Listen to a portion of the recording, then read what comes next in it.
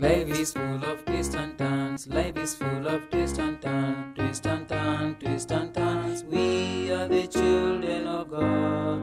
Twist and turns, twist and turns. Life is full of twists and turns. Smart Edoo. Hello pupils, welcome to our literacy activity lesson. Today we are going to read a story about the greedy hyena. And before we continue, let's sing this nice song, then we'll continue.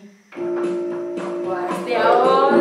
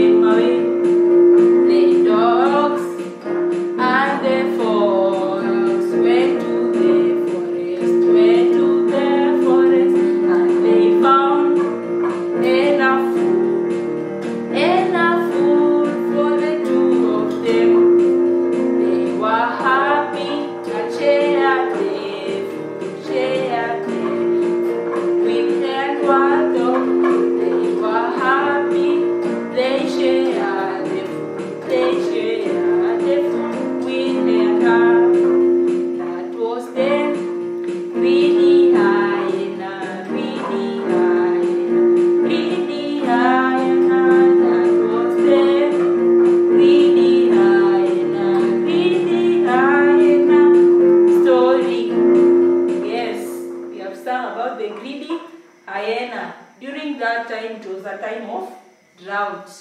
It was a time of drought, and you know, when it, it is the time of drought, there is no food. Good, there is no food and no water because it is drought and water. Now, this greedy hyena eh, had a lot of food in his store. The hyena had a lot of food in his store, which he could not share with any of the friends. And he had two friends, the dog and the fox. He had two friends, the dog and the fox. Now, during this drought time, the dog and the fo- fox had very little food they, that they were supposed to share. They had very little food. Now they ate the food, they ate the food until it finished. Now they went to their friend who had the food in the store, that is hyena. Now when they went to hyena, they asked, Hyena, please, will you give us some food? We are very hungry and we don't have any food to eat. But the hyena was very bad. Now he scared them. I'm going to eat all of you. The, nanny, the dog and the fox were very afraid. They ran away because they were scared of the greedy hyena who had a lot of food in his store. Now these little friends, the dog and the fox, went to the forest maybe to get some food. They went to the forest to look if they can find some luck in the forest. Went in the middle of the forest. Now they were very, very lucky because in the middle of the forest they found what? Food. They found plenty of food that they were supposed to eat. Plenty of food.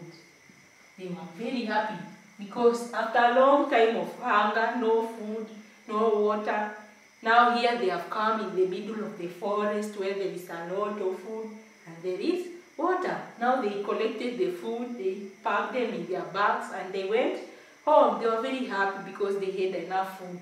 Now this dog and fox had a friend. Their friend was hare and warthog.